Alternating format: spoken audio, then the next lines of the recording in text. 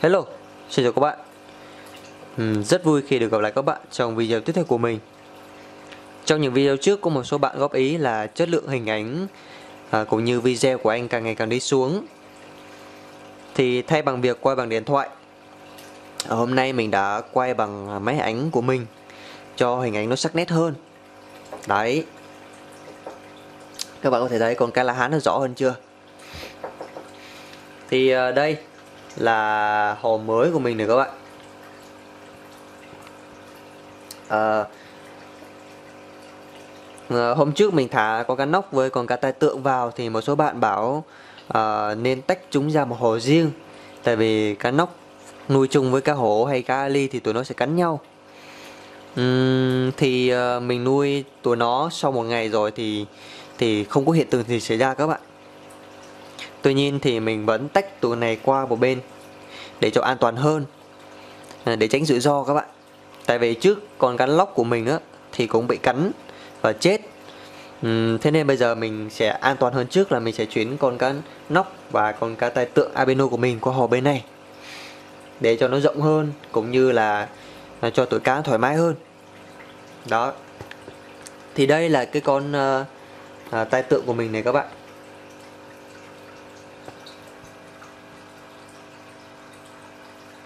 Thì ờ, với kích thước của nó mới hơn hai ngón à thì việc để chung cái hồ cá hổ và cá ali rất là nguy hiểm, thì tụi nó có thể cắn con ờ, con tai tượng của mình. Và qua hồ này thì nó đã có cho mình một chỗ trốn rất là lý tưởng ở trong cái góc của cây san hô. Đó. Rất là khôn các bạn. Thì mình vừa cho nó ăn xong rồi các bạn. Này tôm này cái miếng này mình cắt to quá thì nó ăn không hết. Nó vừa ăn xong cái miếng nhỏ các bạn. Và đã khỏe mạnh trở lại. Và bây giờ thích nghi với bể rất là tốt. Để mình lùa nó ra cho các bạn xem nha. Lùa nó ra. Đi ra đi. Đấy.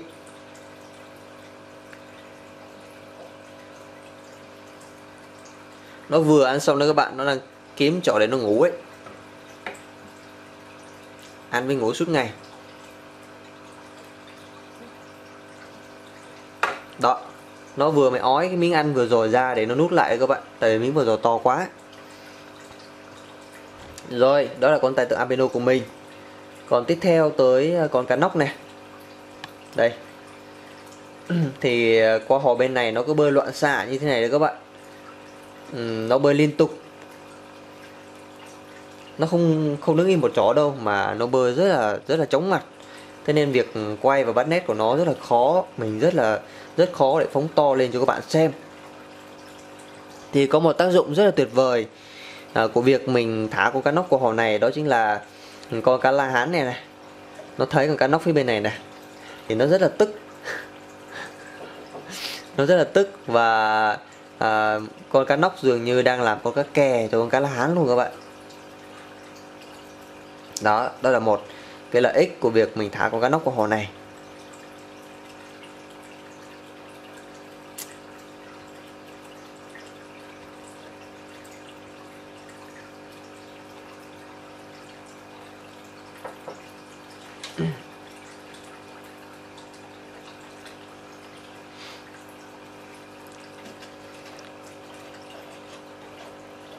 Thì bây giờ mình sẽ giới thiệu chi tiết hơn cho các bạn về loài cá nóc da beo này nha thì ờ, cá nóc da beo là một loài cá khá là phổ biến ở Việt Nam. Thì các bạn có thể dễ dàng mua và sở hữu nó với một cái giá rất là rẻ ở rất nhiều tiệm cá cảnh khác nhau. Hoặc là mua từ những người bắt từ sông lên cũng được. Đó. À, tuy nhiên có một thông tin đó chính là ừ, khi nuôi loài cá nóc này một thời gian nó lớn lên đó thì ờ, nó sẽ chết. Tại vì sao? Tại vì một số bạn cũng như là mình có tìm hiểu là khi nhỏ thì loài cá nóc nó sẽ sống trong môi trường nước ngọt. Còn khi nó lớn lên một chút xíu nữa thì nó sẽ sống trong môi trường nước lợ. Và khi ờ, đạt kích thước trưởng thành thì nó sẽ sống trong môi trường nước mặn.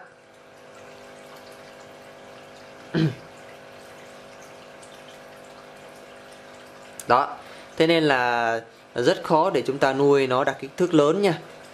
Tại vì sau này thay đổi môi trường thì nó sẽ chết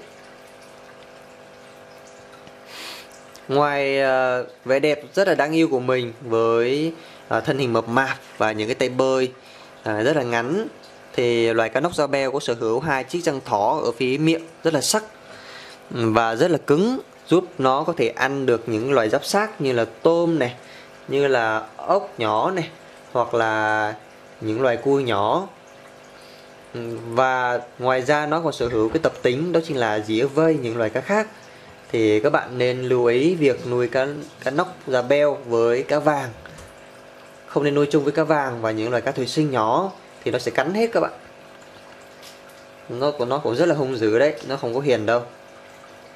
Thì thức ăn của nó thì các bạn có thể cho ăn, hiện tại thì mình đang cho nó ăn tôm. Khi nãy nó mới ăn tôm xong các bạn, nó cũng, nó là một loài cũng rất là háu ăn đấy. Và nó ăn cái bụng nó to tròn luôn đấy các bạn khó ăn lắm. Và món yêu thích của nó chính là ốc. Thì bạn nào có nuôi ốc hại thì có thể thả cho nó ăn thì nó cũng ăn rất là tốt các bạn. Không vấn đề gì cả.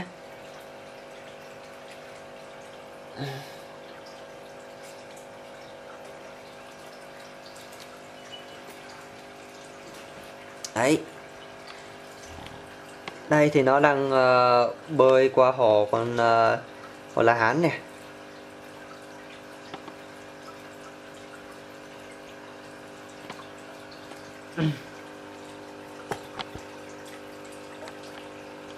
Các bạn thấy không? Hai danh giới hai sự đối lập. Thì con lá hán bây giờ nó sẽ có bạn rồi. Nó cứ hay bơi qua đây nó chờ bạn này và khi con uh, cá nóc bơi qua đây thì con lá hán nó sẽ chúi chúi chúi chúi và nó sẽ lùa con cá nóc đi các bạn.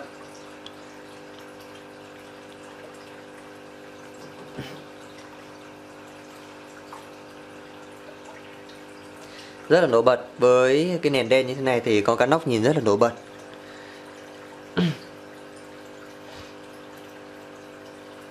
Thì hôm sau mình sẽ cố gắng quay cái khoảnh khắc ờ, con cá nóc ăn cho các bạn xem. Hiện tại thì ờ, à, nãy nó ăn rồi thì mình không quay được. Đó.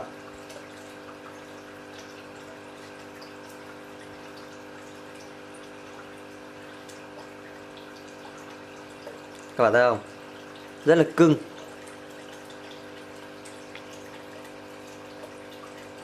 Thì uh, mình một số bạn có đóng góp ý kiến với mình là nên nuôi cá nóc trong môi trường uh, có nhiều đá một chút xíu sẽ um, tăng nồng độ pH của nước lên thì nó sẽ thích hơn là việc nuôi trong bể trống.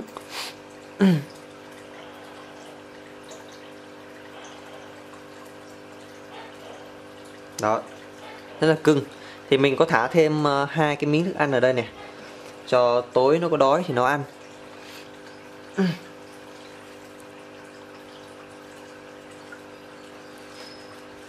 rất là năng động bơi liên tục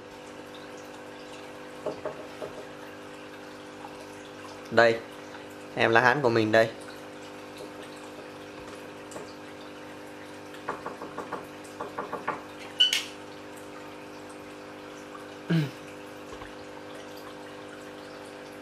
Rồi, uh, video hôm nay của mình ờ, có lẽ tới đây là kết thúc rồi. Xin chào và hẹn gặp lại các bạn vào những video tiếp theo. Đừng quên nhấn vào nút đăng ký kênh cũng như like video. Xin chào!